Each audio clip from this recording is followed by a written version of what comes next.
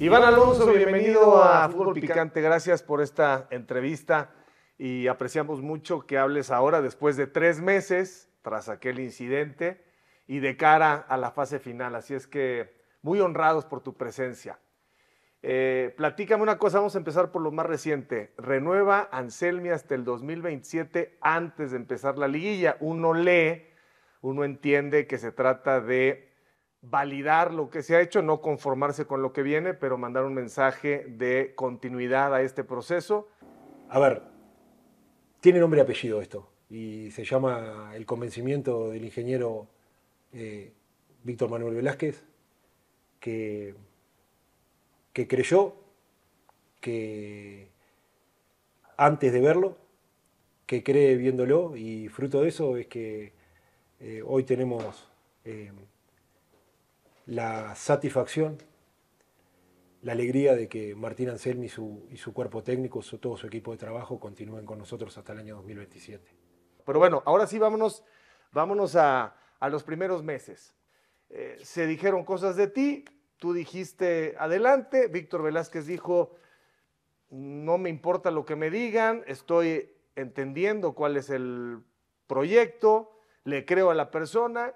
Yo no te conozco y no tenía por qué meter las manos al fuego, pero dije, ¿dónde están las evidencias de que hay algo inadecuado, impropio, ilegal? ¿Dónde están las pruebas? Y nadie las pudo presentar. Cuéntame cómo convences a Víctor Velázquez. ¿Qué es lo que encuentra diferente respecto a tu proyecto? en persona te, te, agradezco el, el, derecho a la duda que diste y, y no juzgar a una persona sin argumento alguno. El artífice de todo esto, lo vuelvo a repetir, es nuestro presidente, el mm. ingeniero Víctor Velázquez, porque creyó en algo eh, en medio de una tormenta que era tremenda, en medio de una campaña que era eh, difícil de sostener y que en, un 99% de las ocasiones la respuesta hubiese sido no procede. A partir de ahí comenzó todo, comenzó todo, en un mar revuelto y con una tormenta eh, difícil de, de, transitar, pero que para nosotros no, creíamos que era, que era imposible. Los resultados, como se lo trasladamos al presidente, en 100 días se iban a empezar a, ver. Eh, y bueno, hoy estamos felices a sabiendas que vivimos de la actualidad. es que yo me imagino que pues uno con familia, con amigos, con este, un currículum, de pronto pues sí te saca un poco de onda, ¿no? El que, el que se hable en los medios de una falta, de algo inadecuado y que no se pueda presentar la evidencia. A mí me, gustaría poner en, en una mesa de trabajo junto con la federación y la liga de empezar a trabajar en estos aspectos porque esto va en detrimento y en contra de lo que es el desarrollo del fútbol mexicano y el posicionamiento del fútbol mexicano. ¿Por qué? Porque el hablar sin ningún tipo de fundamento, ¿sí? el juzgar sin ningún tipo de fundamento al libre albedrío, no lo considero que, que es beneficioso ni para una federación ni para una liga. Pero esto lo propongo para sentarnos en una mesa de trabajo y ver cuáles pueden ser los mecanismos sin cortar la libertad de expresión que podamos trabajar en conjunto para que esto no ocurra. Y el, para que esto no ocurra como lo vivencié en carne propia, a todos aquellos que me juzgaron, sin conocerme, que eso es lo peor, sin haber entablado una conversación conmigo, seguramente tengan papá, mamá y hijos. Yo también los tengo, por suerte. En vida mis papás y tengo hijos que ya no son niños, son hombres y mujeres. Ah, en algún momento quizá pensaste en tomar alguna medida legal, pero te lo impide el ser miembro de la familia futbolística o no pensaste en... No, porque al final la vida pone a cada uno en su lugar. Yo tengo claro eso. Esto es redondo. Mm. Y por eso, a todo aquel que me jugó sin conocerme y que hoy tenga que decir, pucha, capaz, capaz que nos equivocamos, los entiendo. Por supuesto que los entiendo, porque todos somos seres humanos y todos tenemos derecho a equivocarnos. Eh, ¿La gente de Pachuca alguna vez te llamó después de esto? ¿Tuviste algún diálogo con, con Armando, con Jesús? No. Nada. Nunca te llamaron ellos. No. Nunca, dije, nunca escuchaste nada de ellos. No. Directamente para conmigo, no. ¿Cuál, ¿Cuál crees que haya sido el propósito? Ellos lo sabrán. Bueno, opiniones. Hugo, Roberto, Ricardo. Ricardo.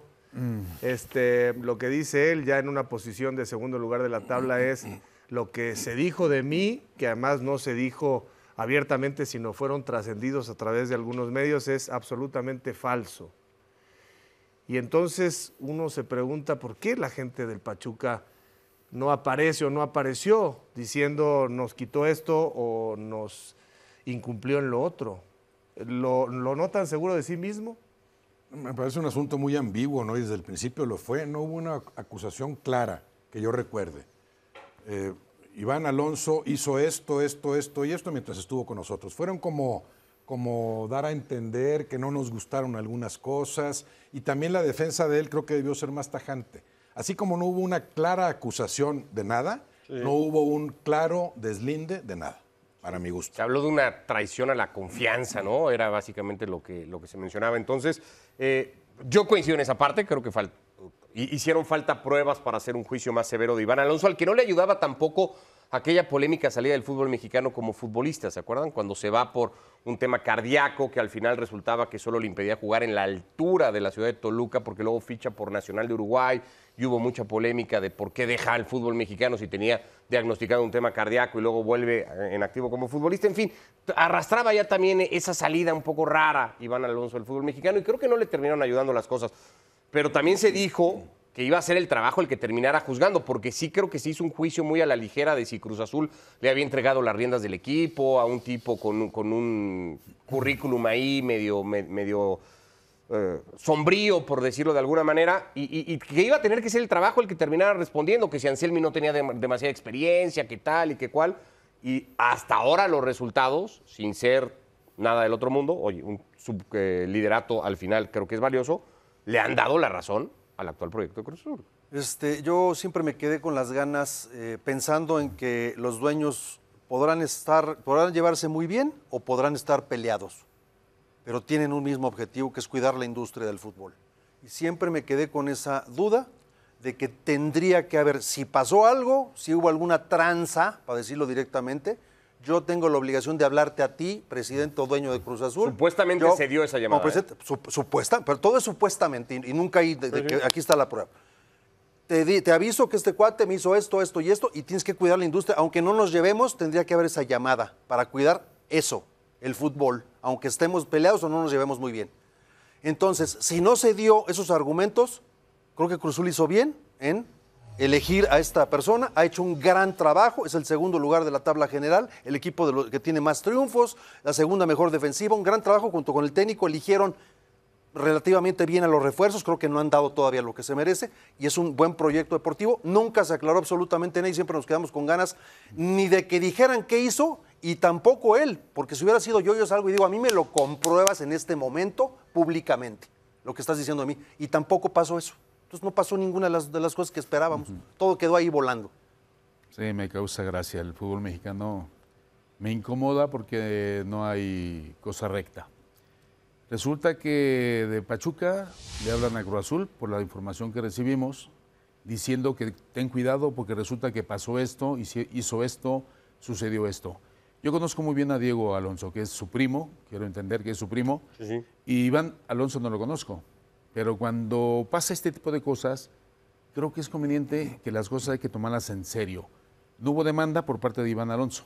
¿Por qué? Porque en el mundo futbolístico dice, si tú me demandas, estás crucificado para siempre porque entre los presidentes y los dueños dicen, uy, este me demandó, tienes que apoyarme en esta situación porque tiene que haber una venganza y a este ya no regresa al fútbol mexicano. Entonces, el fútbol mexicano primero hay que limpiarlo entre nosotros. Y si no se limpia entre nosotros, ¿de qué sirve que entre los dueños y los presidentes se pasen el chisme, sepan y no hagan nada, digan, no pasa nada? Y eso de que no pasa en México es una cosa habitual y eso me da mucha tristeza porque debería de pasar y no pasa. Y así estaremos durante muchos años más. Yo creo que más allá de cómo se ha defendido él, que es cuestión de percepciones, el que acusa tiene que cargar con el tema de la prueba. Y todavía es tiempo que el Pachuca aclare qué fue lo que hizo Iván Alonso.